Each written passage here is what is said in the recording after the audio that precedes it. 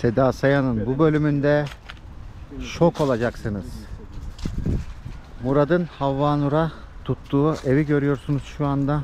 3 katlı bir ev. Şu üst katı şu anda boş ve kiralık.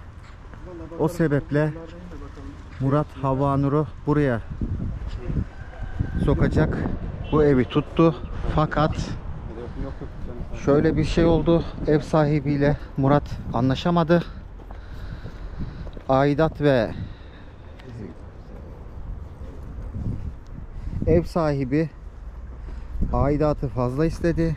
Murat ben bu parayı veremem dedi. Bu şekilde Murat başka bir ev aramaya koyuldu.